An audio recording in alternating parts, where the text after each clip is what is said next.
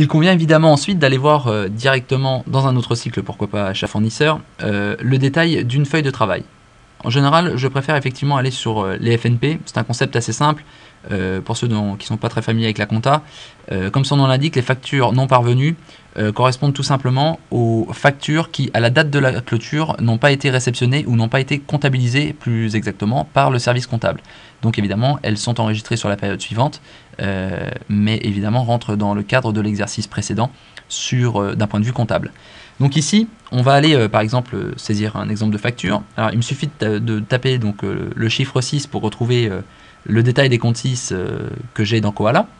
En l'occurrence, je vais donc sélectionner le compte 601 par exemple. Le libellé va donc s'indiquer automatiquement. Le compte de TVA également.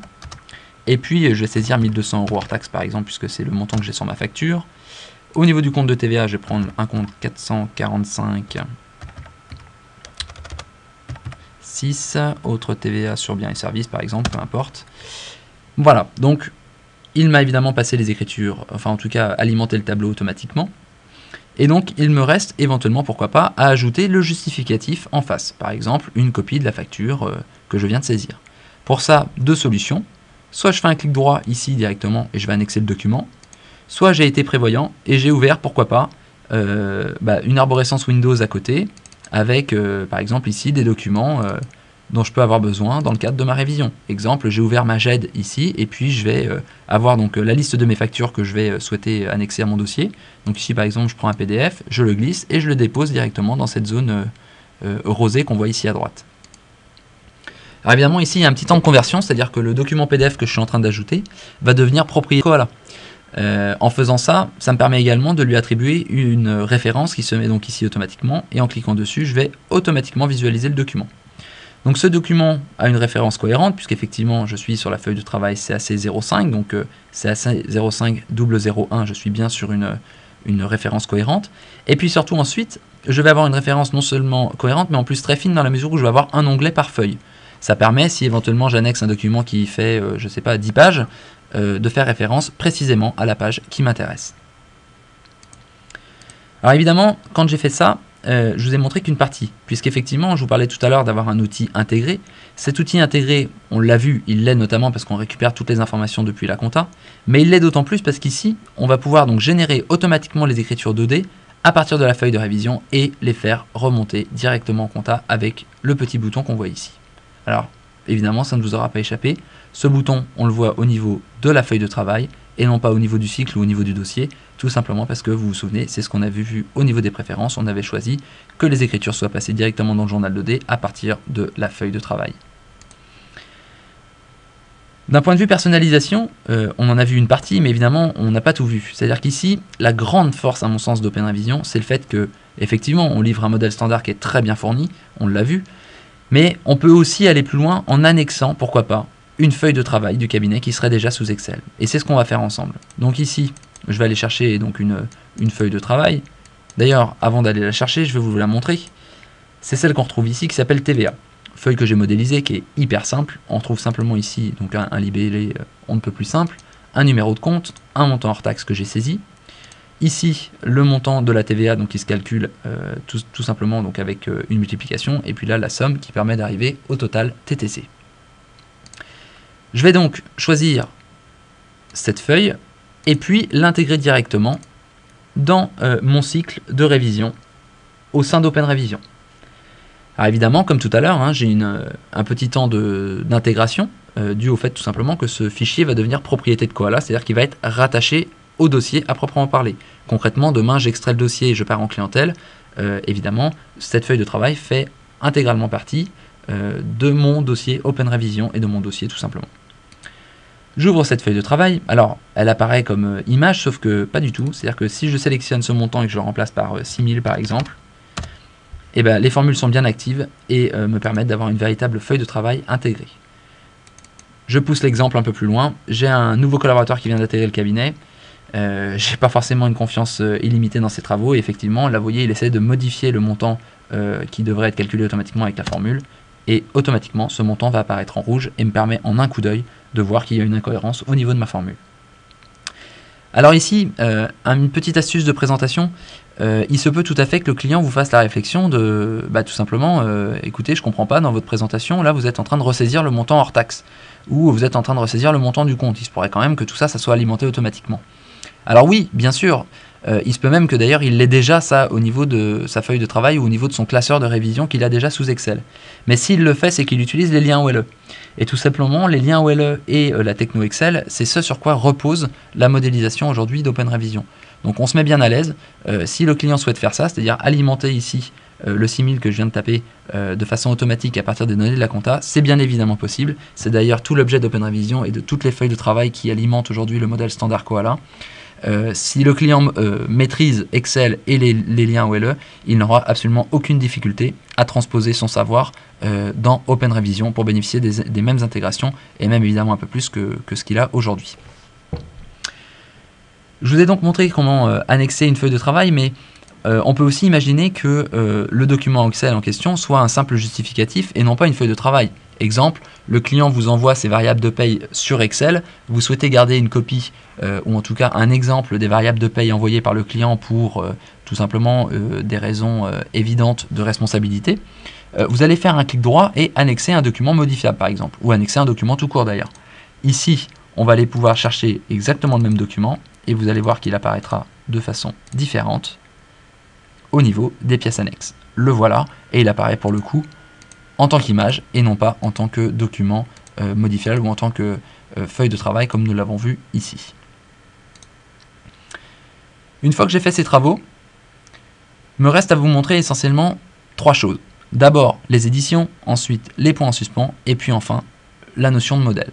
Alors au niveau des éditions, Effectivement, au point où on en est, euh, alors évidemment, Open Revision est un outil qui permet de tendre vers euh, la dématérialisation totale et pourquoi pas effectivement d'y aller si c'est une véritable volonté du cabinet, mais pas seulement. C'est-à-dire que beaucoup de cabinets aujourd'hui euh, ont pour volonté d'avancer en termes de dématérialisation, mais pas forcément d'avancer au point d'aller vers une dématérialisation totale.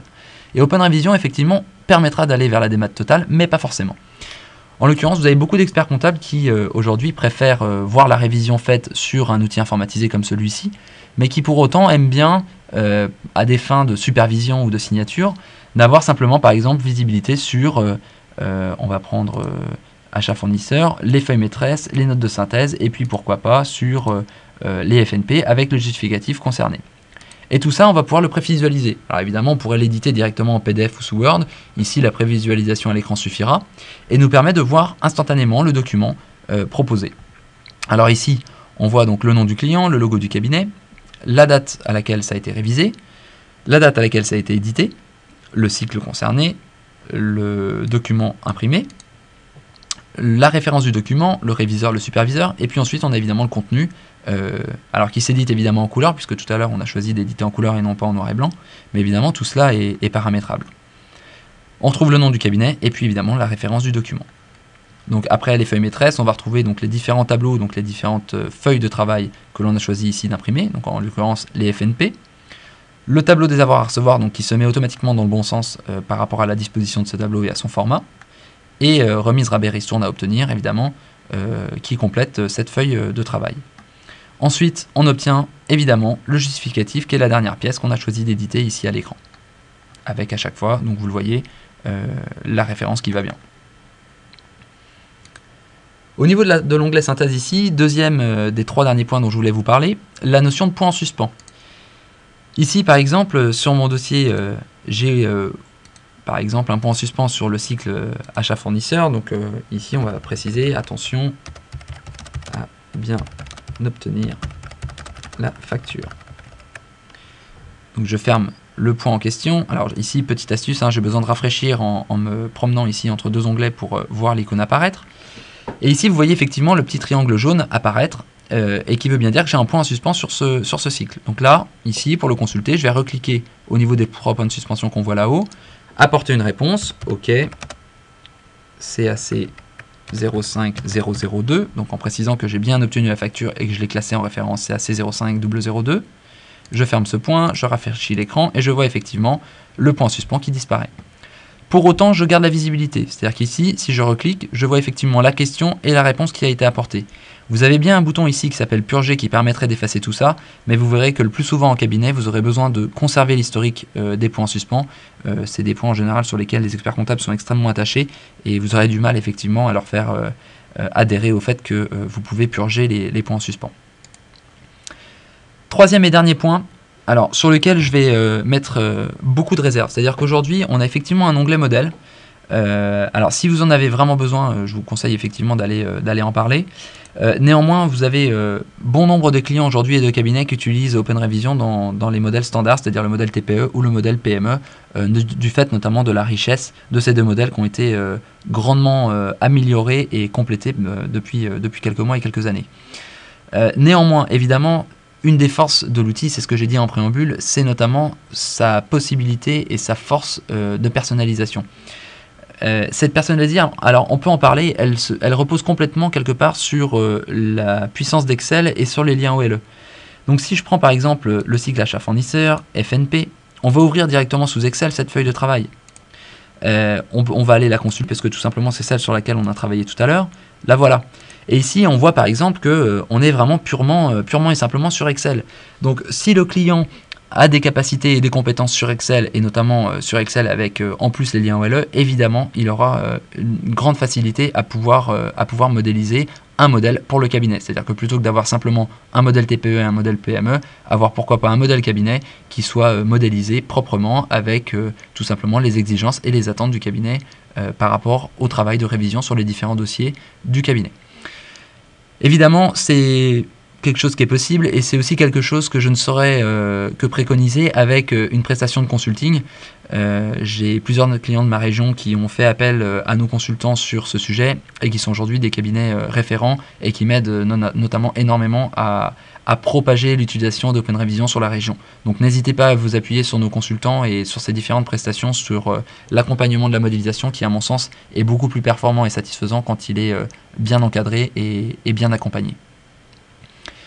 Voilà, je pense qu'on a fait euh, le tour euh, d'une façon évidemment globale et générale d'Open Revision. On pourrait y passer euh, beaucoup plus de temps. Notamment, je vous invite à aller explorer, pourquoi pas, les différents cycles que vous voyez ici. Euh, le cycle état par exemple, euh, pour aller euh, commenter et pourquoi pas montrer à vos clients le caractère intégré de l'outil. vous prenez par exemple le récap des CA3, où ici systématiquement vous allez avoir un report automatique des éléments comptables dans ces feuilles de travail. C'est des choses qu'on n'a pas eu l'occasion de voir auparavant et qu'on retrouve bien ici sur ces différentes feuilles de travail. Alors on pourra en balayer plusieurs, la CA12, euh, TVA collectée par exemple sur autres biens et services. Vous voyez qu'ici les comptes sont alimentés automatiquement. Donc voilà, ce sont des, automatismes quelque part que les experts comptables et les collaborateurs ne sont pas habitués à voir sur leurs outils en interne le plus souvent. Et ce sont des choses qui effectivement euh, permettent de présenter l'outil sur euh, son plus beau jour. Et c'est évidemment très vendeur auprès de nos clients. Voilà, donc j'espère vous avoir guider le plus possible en tout cas et orienter le plus possible quant euh, à la présentation de ces outils.